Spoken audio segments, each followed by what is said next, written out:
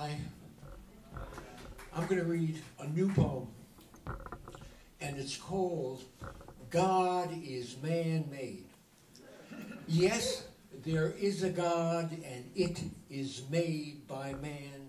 There is a God, and it is man made. There, all the gods are made by you and me. We create the gods, and they look. Yes, there was a moment recognizing intuitively the empty, true nature of mind, beyond concepts and inconceivable. And then we began thinking about it, thinking about it, thinking about it, made it into ideas, made it into concepts, made it into religions, created all the self serving religions. And then we said some words and said it was the Word of God, words from God. And everybody believed it, wanted to believe it. We created God, and He looks like us. There is no hell.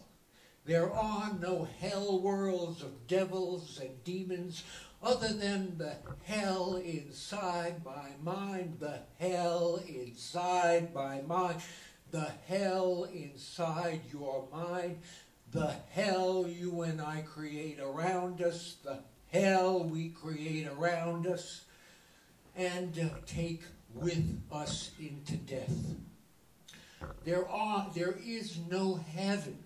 There are no heaven worlds other than the joy of you living in your eyes, living in your eyes, living in your eyes, and seeing everybody in the world as gods and goddesses. Every wretched, grasping, ugly person is a deity swimming in light. Yes, God's making, God's helping and making happy, helping and making happy. And demons hurting and harming is your own mind seeing itself.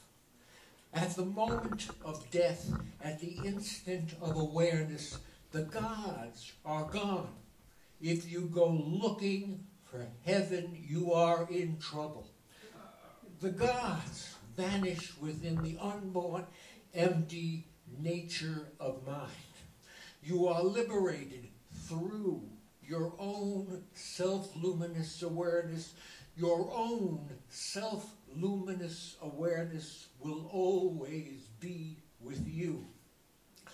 I will always be with you. I will always be with you. I will always be with you.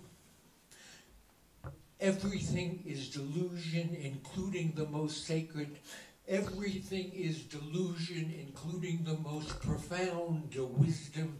Everything is delusion, including the highest teachings, which lead to the realization that everything is delusion, the play of emptiness, awareness, and bliss. Finding it through yourself, finding it through yourself, finding it through yourself, finding it through yourself.